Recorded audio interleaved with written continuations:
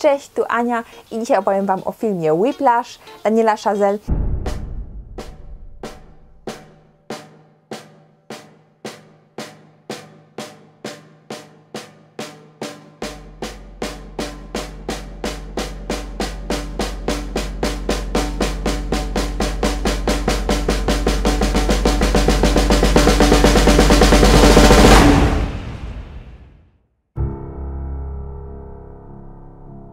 Nie spodziewałam się po tym filmie wiele. Damien Chazelle jest y, debiutantem, to jest jego pierwszy film i wszyscy mi mówili, że a, idź koniecznie na ten film, idź koniecznie na ten film, on jest taki fajny, on miażdży, będziesz zniszczona, on cię wykończy psychicznie. Ja uwielbiam filmy, które wykańczają psychicznie, więc jak mogłam się nie oprzeć tym zapewnieniom, ale z drugiej strony film, bo to jest film o perkusiście, o chłopaku, który chodzi do konserwatorium muzycznego, chce być bardzo dobrym perkusistą, dlatego wybiera sobie takiego nauczyciela, właściwie stara się dostać do tego, takiego nauczyciela. Ten, tego nauczyciela gra J.K. Simmons, to jest profesor Fletcher, no i do tego Fletchera chcą się dostać wszyscy muzycy w tym konserwatorium, mimo że on jest bardzo srogi, ale jego drużyny, zawsze te zespoły, które on prowadzi, wygrywają wszystkie konkursy, bo on jest na tyle wymagający, że y, oni wszyscy dążą do perfekcji. No i on marzy tak bardzo, żeby się do niego dostać się dostaje. No i ten, przez cały film ten Fletcher go maltretuje. Were you rushing or were you dragging? I, I don't know. If you deliberately sabotage my band, I will gut you like a pig. Oh, my dear God. Are you one of those single tier people? You are a worthless pansy ass who is now weeping and slobbering all over my drum set like a nine year old girl. I ja myślę sobie, o nie, ja mam oglądać film o perkusiście, ja nie znoszę perkusistów, nie lubię perkusji. Byłam kilka razy na festiwalu perkusyjnym, to był i to był błąd ogromny, bo ja z perkusją nie jestem blisko. Tak myślę. Mam cały film patrzeć, jak ten Fletcher maltretuje tego chłopaka nieszczęsnego, jak on gra na tej perkusji. No i to ma być niby fajny film i ktoś mi pisał, że jest drastyczny i że tyle emocji i tak dalej. Myślę sobie, co, ja się tam upocę, umęczę, jakiś horror tego chłopaka będzie maltretował bez sensu. No ale jakiś cudem na ten film poszłam. I co się okazuje?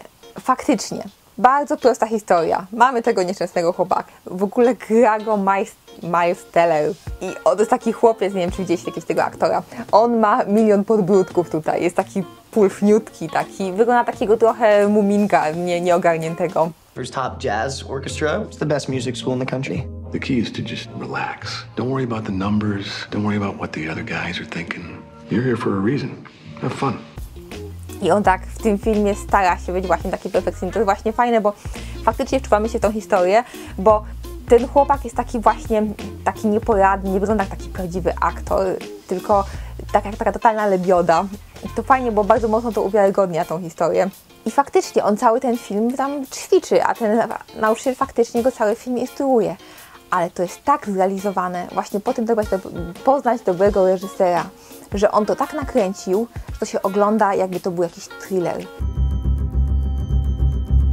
I push people beyond what's expected of them. I believe that is an absolute necessity.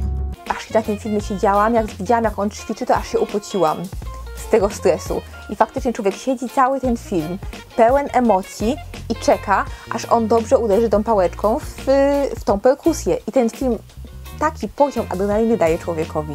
Jest tak zrealizowany, że ogląda się go naprawdę, naprawdę super. I naprawdę ja się stresowałam, naprawdę się bałam i przejmowałam tym młodzieńcem. I ten film, jak to wiele osób pisało, po prostu miażdży. Ogląda się go, to jest tak dobrze zrealizowany film, że z przyjemnością się ogląda każdy kadr. On też bardzo dużo zbliżeń ma. Let him get away with what he did to you. There are no two words in the English language more harmful than good job. Też też bardzo ładnych zbliżeń.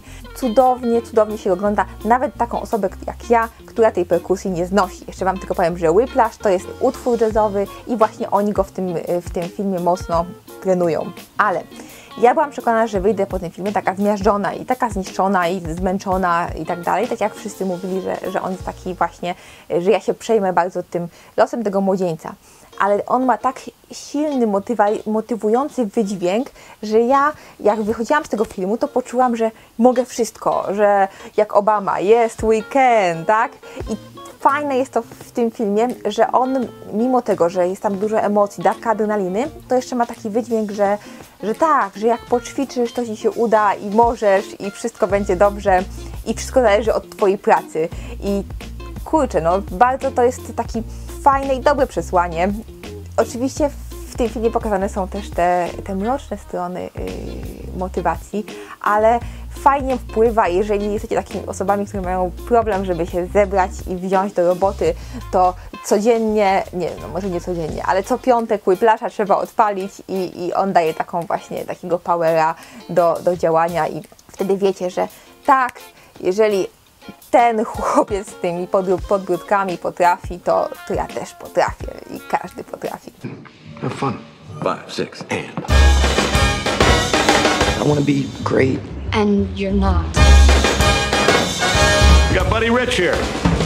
A, zapomniałam o ocenie. Ocena filmu to będzie 9 na 10, wysoko, wiem. Jestem bardzo ciekawa, co Chazelle zrobi jako kolejny film, bo ciśnienie jest ogromne. To nie jest jakby wybitne dzieło, ale ten film jest tak świetnie zrealizowany, że ja nie poznałam jeszcze osoby, której by się nie podobał. Dlatego jestem ciekawa, bo teraz jest ogromne ciśnienie, taki dobry debiut, co Sza- Chazelle zrealizuje jako kolejny projekt, bo zrobił pierwszy film, który jest idealny i jestem ciekawa, czy, czy jego drugi projekt to potwierdzi, że jest dobrym reżyserem, czy po prostu okaże się, że, że to był zupełny, znaczy nie zupełny, ale że przypadkowo coś tak fantastycznego mu wyszło. Tym optymistycznym akcentem się z Wami żegnam. Do zobaczenia wkrótce. Buziaki, papa. Pa.